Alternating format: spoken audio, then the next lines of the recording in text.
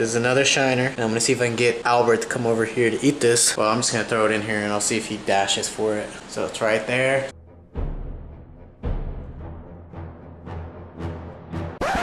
Albert, that's not your buddy, that's your food. Stop playing with your food. It's alive and well. Stop being a little brat.